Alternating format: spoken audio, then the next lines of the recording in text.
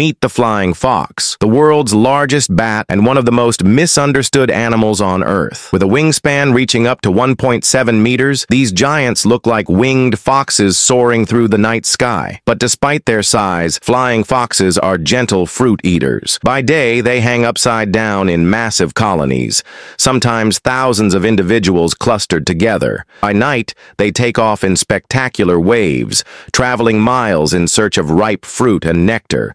Their keen eyesight and incredible sense of smell allow them to navigate the dark without needing echolocation like smaller bats. This makes them unique among the bat family. But what truly makes flying foxes extraordinary is their role as forest guardians. As they feed, they scatter seeds and pollinate trees over huge distances. Entire rainforests depend on these bats to regenerate and survive. Without them, ecosystems would collapse. Watch closely as they groom their fur and wings, keeping themselves clean and strong for flight. Notice how they delicately peel fruit, eating only the sweetest parts, then spreading life through the seeds they leave behind. Sadly, many species of flying foxes are now endangered. Habitat destruction and hunting threaten their survival, yet our planet cannot afford to lose them. Flying foxes are not creatures of fear. They are nature's gardeners, protectors of life, and symbols of balance in the wild. You're amazed by these incredible bats?